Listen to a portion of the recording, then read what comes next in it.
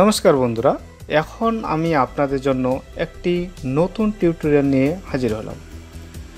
তো বন্ধুরা, আমরা সব সময় আমাদের ল্যাপটপ, কম্পিউটারে আমাদেরকে অনেক সময় অনেক সফটওয়্যার ইনস্টল করতে হয়। তো বন্ধুরা, দেখুন, আমি আজকে যে সমস্যাটা পড়েছি, সেটা নিয়ে আপনাদেরকে আমি একটি ভিডিও আকারে শেয়ার করতেছি তো বন্ধুরা, আমি এখানে আমার কম্পিউটারে যখন সফটওয়্যার ইনস্টল করতে চাচ্ছি, তখন আমাকে এই মেসেজটা শো করতেছে। তো এখানে দেখুন, আমার এখানে this apps has been blocked for your protection তো এখানে কি বলতেছে and administrator has blocked you from running this apps in the information contact the administrator অর্থাৎ আমাদেরকে অ্যাডমিনিস্ট্রেটর ফাইলটা একটু এডিট করে চেঞ্জ করে দিতে হবে। তো এখানে দেখুন, নিচে আমাদেরকে লোকেশন দিয়ে দিচ্ছে। এখানে program location C window system বত্রিশ এমএমএস, এই ফাইলের মধ্যে আমাদের এই সমস্যাটা সৃষ্টি হয়েছে। তো বন্ধুরা, চলুন দেখি আমরা এই সমস্যা থেকে কীভাবে আমরা সমাধান করে আমরা আমাদের আবারও অ্যাপসটি ইনস্টল করতে পারি। তো আমি এটাকে জাস্ট ক্লোজ করে দিচ্ছি এবং আমি আমার সেটিংয়ে চলে যাচ্ছি। তো বন্ধুরা, আপনারা সেটিংয়ে যাওয়ার জন্য এখানে যে সেটিংটা বের করতে হবে সেটার জন্য আপনারা এখানে আপনাদের যে উইন্ডোজ টেনের হলে এখানে সার্চ বার অথবা আপনারা রান বাটন এনেও সেটাতে অপশনে যেতে পারেন। তো আমি এখানে জাস্ট সার্চ বারে সার্চ করব। তো এখানে সার্চটি করব? তাহলে আমি এখান থেকে রেজিস্ট্রি এখানে দেখুন রেজিস্ট্রি এডিটর নামে একটা অ্যাপস আছে। তো আমরা এখানে প্রথমে ক্লিক করব। তো এটাকে আমি যখন সার্চ দিয়ে এখানে বের করে নিলাম, তো এখান থেকে আমি এখানে রাইট বাটন ক্লিক করব। রাইট বাটন ক্লিক করে দেখুন এখানে রান অ্যাজ অ্যাডমিনিস্ট্রেটরে এখানে আমরা ক্লিক করব। তো যখন এখানে ক্লিক করব, তো এখান থেকে অবশ্যই আপনারা প্রথমে ইয়েস করে দেবেন করে দেবেন। তো ইয়েস করে দেওয়ার পরেই আপনাদের এ ধরনের একটি উইন্ডো চলে আসবে। তো এই উইন্ডো থেকেই আমরা আমাদের সিস্টেম অনুযায়ী আস্তে আস্তে করে ধাপে ধাপে আমাদের সেই সমস্যাটার সমাধানে চলে যাব। তো এখান থেকে দেখুন আমার এখানে ফাইলটা ওপেন হয়ে আছে, তো এখানে আপনার নাও থাকতে পারে তো আপনারা এখন এখানে যখন আস্তে আস্তে করে ফাইলে যাবেন, তো এখানে একটু ঠান্ডা মাথায় যেতে হবে, কারণ এখানে অনেক রকমের ফোল্ডার এবং ফাইল আছে। তো আমরা আমাদের প্রথমে যে ফাইলটা যাব, তো এখান থেকে দেখুন এখানে এইচ কে লোকাল মেশিন এখানে আমরা ক্লিক করব, তো এখানে ক্লিক করার আগে আমাদেরকে এখানে দেখুন ছোট্ট একটি অ্যারো আছে।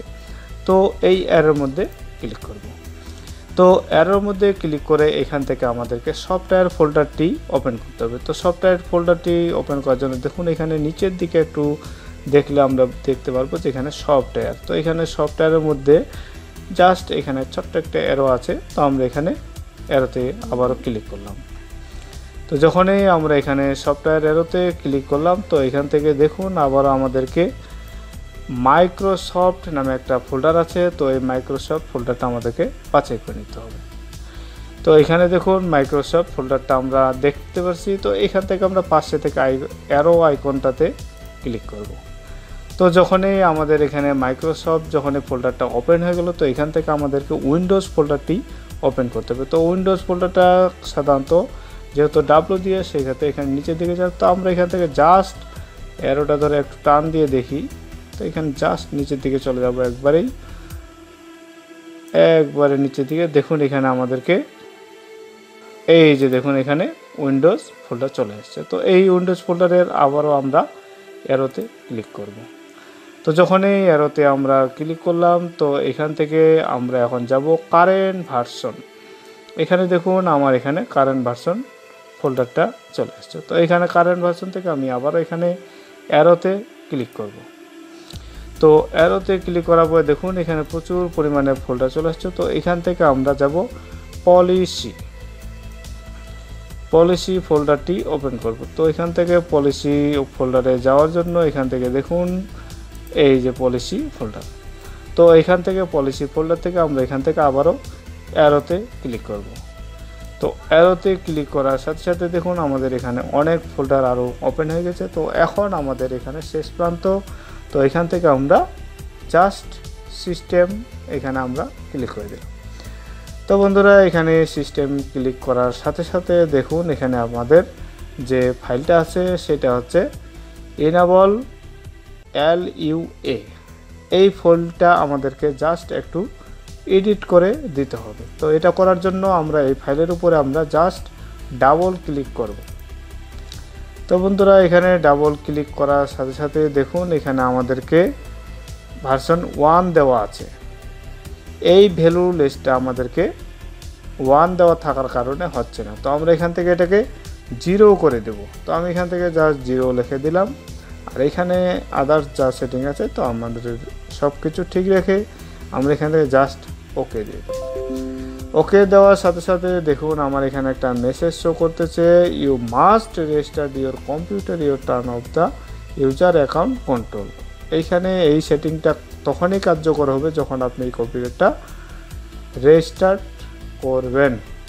তো আমি এখন আমার এই ফোল্ডারটাকে জাস্ট ক্লোজ করে দিয়ে আমি এখান থেকে, এখান থেকেও আমি রেজিস্টার্ট নিতে পারি, অথবা আমার এখান থেকে আমি স্টার্ট মেনু পাওয়ার পাওয়ার থেকে এখানে আমার রেজিস্টার্ট যে অপশনটা আছে, আমি এখান থেকে ক্লিক করে আমার কম্পিউটারটা রেজিস্টার্ট করার সাথে সাথেই আমার এখানে এই সফটওয়্যারটি এখন ইনস্টল করতে কার্যকারী হয়ে যাবে।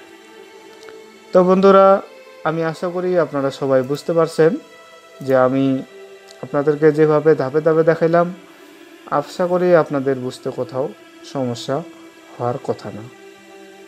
তো আমি এটাকে জাস্ট এখন ইনস্টল দিয়ে দিচ্ছি। তো বন্ধুরা, এখন আমি কম্পিউটার আমার রেস্টার্ট করার পরে আপনি আবারও আমি ব্যাগ আসছি আমার সেই আগের চেনা জানায়। তো আমি এখন দেখব আমার যে সফটওয়্যারটা সমস্যা করতে এর আগে সমস্যায় পড়েছিলাম, সেটা এখন আমার সলভ হয়েছে কি না তো দেখুন, এখানে এই সফটওয়্যারটি ইনস্টল করার জন্য আমি আমার প্রথম সমস্যাটাই ধরা পড়ি। তো আমি আপনি যেহেতু সমস্যা সমস্যা সমাধান করেছি, সেটা আপনারা আশা করি যে আমার দেখা দেখা কাজ করলে অবশ্যই আপনারা সমস্যার সমাধান হয়ে যাবে। তো আমি এখান থেকে জাস্ট এই সফটওয়্যারটাকে রাইট বাটন ক্লিক করলাম। রাইট বাটন ক্লিক করে আমি এখান থেকে জাস্ট রান অ্যাজ অ্যাডমিনিস্ট্রেটিভ এখানে ক্লিক করব। তো বন্ধুরা, এখানে ক্লিক করা দেওয়ার সাথে সাথে দেখুন আমার এখানে কিন্তু এটা ইনস্টলের জন্য এখন ওপেন হয়ে গেছে। তো তো আশা করি আমি, আশা করি সবাই ভালোভাবে বুঝতে পারছেন বিষয়টা। আমি যেভাবে কাজ করেছি, আপনারা সেভাবে কাজ করলে অবশ্যই আপনাদের সমস্যার সমাধান একশো পার্সেন্ট হবেই হবে। তো ধন্যবাদ বন্ধুরা, দেখা হবে পরবর্তী ভিডিওতে। ততক্ষণ পর্যন্ত ভালো থাকবেন। আর কোনো সমস্যা হলে বা কোনো সময় ইয়া হলে তাহলে অবশ্যই আমার চ্যানেলটি ভিডিওর নিচে কমেন্ট করবেন। আপনাদেরকে আমি ভালোভাবে বুঝিয়ে দেওয়ার চেষ্টা করব। ধন্যবাদ।